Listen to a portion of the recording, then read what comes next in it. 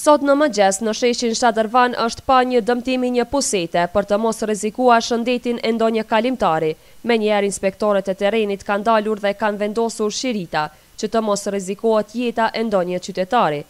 Drejtori i Drejtorisë së Shërbimeve Publike në Prizren, Levent Kasami, përmes telefonit për RTV Besa, tha se posa kemi marrë informacione se ka rrëshqitur një pusetë Kemi ftuar kompaninë që i ka kryer punët aty dhe me këtë rast kemi sinjalizuar rrezikun që të mos rrezikohet jeta e ndonjë udhëtari apo kalimtari.